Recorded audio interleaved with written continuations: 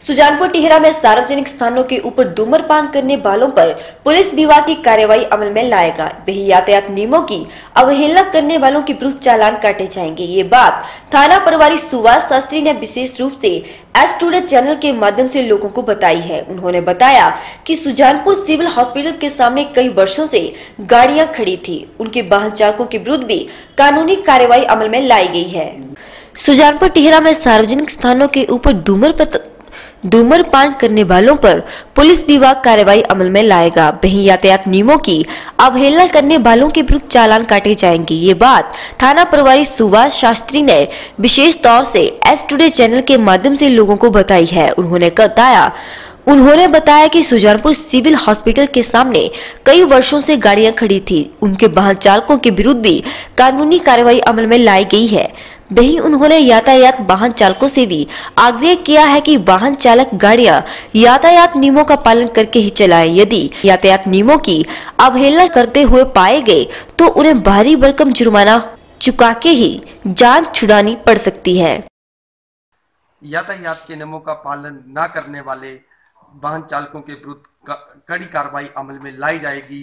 वही पुलिस ने सराहनीय कार्य करते हुए जो सिविल हॉस्पिटल के आगे जो सोनपुर में गाड़ियाँ लगी रहती थी, उनके ऊपर भी पुलिस प्रशासन ने कार्रवाई अमल में लाई है। आज हम सदर थाना के, सुजानपुर के, थाना प्रभारी शास्त्री से बात करेंगे कि क्या कार्रवाई जो है, जो यातायात के नियम लगातार अमल में लाई जा रही है, क्या कारण है सर? ऐसा है कि मतलब जैसे कि आपने कहा, सिविल हॉस्पिटल सुजानपुर के पास काफ़ी लोगों ने अनऑथराइज पार्किंग बना रखी थी और कुछ ऐसी गाड़ियाँ जो कि काफ़ी लंबे समय से वहाँ पर पार्क कर रखी थी, जिनके मालिक उन गाड़ियों को इस्तेमाल भी नहीं करते। उन गाड़ियों को तुरंत वहाँ से हटाया गया है लोगों की सुविधा के लिए, ताकि कोई भी जो मरीज़ लोग आते थे, उनके जो साथी थे, उनको गाड़ियाँ पार करने के लिए जगह नहीं मिलती वो जगह खाली करवाई गई। सर, क्या कारण रहा है कि जो वाहन चालक हैं, वो लगातार मतलब यातायात नियमों का सख्त कार्रवाई के दौरान भी नहीं मतलब यातायात नियमों का पालन करते नज़र नहीं आ रहे हैं?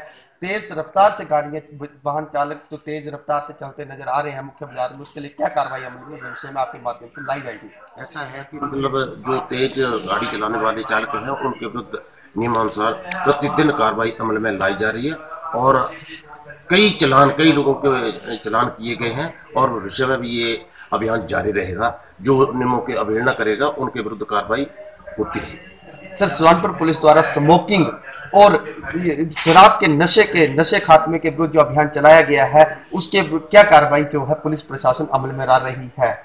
हमने जो स्मोकिंग के बारे में है तो उसमें हमने लगभग 800 आदमियों के विरुद्ध चलान किए हैं और उनको उन्होंने जुर्माना अदा किया है और भविष्य में भी ये मतलब कार्रवाई चलती रहेगी।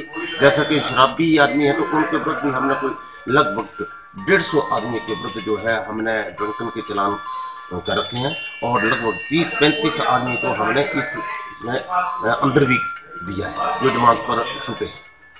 सर, जो यातायात नियमों के विरुद्ध गाड़ी चला रहे हैं, या शराब अवैध रूप से शराब का व्यापार कर रहे हैं या जर्ज माफ़ी है उसके विरुद्ध कार्रवाई अमल में लाई जाएगी कि क्या होगा कैसे टीमें आपने गठित भी की है उसके विरुद्ध क्या रिपोर्ट जो है तलब हो रही है? इस, इस बारे में जो भी मतलब हमारे पास सूचना मिलती है उनके विरुद्ध एक्साइज एक्ट के तहत कार्रवाई की जाती है और वो जारी रहेगी। आज हमने स्वास्थ्य शास्त्री जो सदर थाना के थाना प्रभारी हैं उनसे बात की तो इसमें इन्होंने बताया कि सुरनपुर थाना के अंतर्गत जितने भी जो मामले गैर कानूनी कार्य में सम्मिलित पाए जाएँगे, उनके विरुद्ध कड़ी कार्रवाई अमल में लाई जाएगी और यातायात नियमों के विरुद्ध जो वाहन चालक हैं, वो चला रहे हैं तो उनके विरुद्ध भी कड़ी कार्रवाई अमल में लाई जाएगी। कैमरामैन सौरभ गुप्ता के साथ राजन मेहता।